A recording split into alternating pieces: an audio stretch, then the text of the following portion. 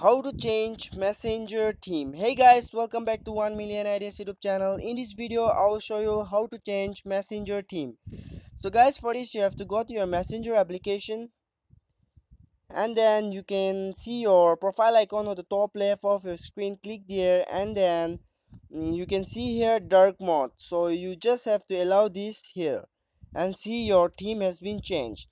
So guys this is how you can change your theme on messenger. Thanks.